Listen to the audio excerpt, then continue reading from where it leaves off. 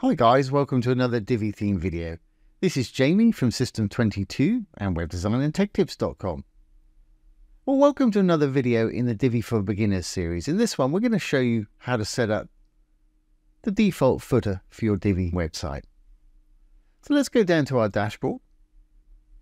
We're going to go down to Appearance and then Customize. You can also go down to Divi and Theme Customizer. They'll both take you to the same place. And that's going to take us to this page here. If we roll down to the bottom of the page here, there's a generic footer right at the bottom. It says designed by Elegant Themes, powered by WordPress.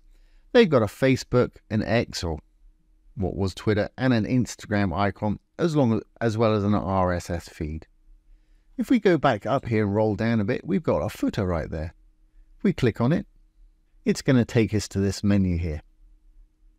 If we look at the layout, you can decide how many columns you want to have in your footer right here.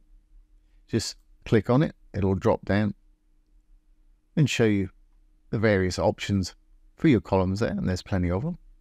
Footer background color, self-explanatory obviously below. If I change the color of this, you'll see it change at the bottom there. Let's change that back to how it was. Just hit the default button there. Great. When you're happy with your colors and layout, let's go back one we'll go down to widgets just down below there. This is the widget area and it's just like a regular WordPress widget area. You can add widgets from your WordPress library. For anybody that doesn't know what I'm talking about, if I go back down to my dashboard here, we go down to appearance. We look down here, we've got widgets. I'm sure you all know what I'm talking about. For anybody that doesn't, this is where your widgets are. And if you want to add a new one, hit the plus sign. And there's various different widgets you can use and drag them to where you want them there. Now, quite a lot of the time, you don't want any widget area down the bottom here. And I'll show you how to remove that in a minute. But while we're in here, you can change the header, text size there, bold, italicize, capitalize, underline if you want to and they're all pretty self-explanatory. Body link text size, any links you've got. Body link line height, height between items. Font style, exactly the same thing for your body link there. Widget text color, it's white there. Widget link color, it's also set to white. Widget header color, set to blue at the moment. Obviously change it to whatever color you want by clicking on the color field. Turn them to whatever colors works for you. You can select the color here. You can roll this around the color palette down below to change the colors there. Or you can type in a hex code down there. Now the widgets have got little bullet points there. You can choose a color. Again, just click on the color palette, select the color you want. Simple as that. When you make any changes within your customizer, you want to make sure to publish when you're ready to leave and that'll make the changes permanent. Now, if you decide you don't want this area right here with the widgets, because Divi's got so many big features built in already, we can go back over to our widgets area. And if we look over here, we've got footer area one, two, three, four. If you hit one of the little chevrons, it'll tell you there's our archives and categories. Archives and categories. If you don't want them there, simply left click on it Go over, hit the little three dots, and you can delete the widget that way. And we'll do the same for the one below. I'm just left clicking, three dots, hitting the delete. Or you can hit Shift Alt Z as well, three dots. Okay, we've taken away those widgets now. We want to make sure we go up to the update button just up the top here. Once I've updated, if we go back to that site, let's roll down to the bottom. There's the widget area. If I refresh now, we're just left with our footer at the bottom there. No longer got that widget area. You can do it also with a bit of CSS code, but I'll leave that for when I'm doing a bit of coding for you. Great, so we remove that. Now, obviously, you're going to want to style your footer to make it your own. So let's go back in there now to our customizer. We'll go back from the widgets down to footer elements. I click on that one. you can choose whether to show the social icons or not, and I'll show you how to put your links in in just a moment. Obviously, check that if you don't want the socials down there.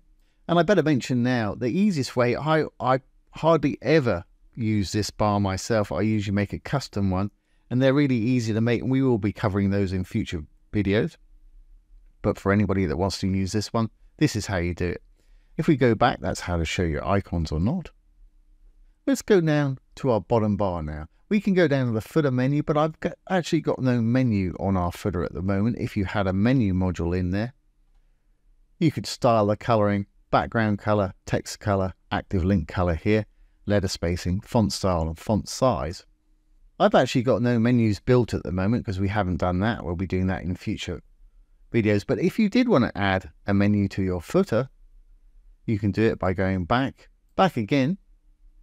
We're on the customize a home here. If we go down, we've got menus here. View all locations. You can go down, here's the footer. When you've got some menus saved, they'll appear here. Like I say, I've got none saved at the moment. You can add one by selecting it there for the footer and hitting your publish bar. That's great. Well, let's go back. And back into the footer again and back into the bottom bar.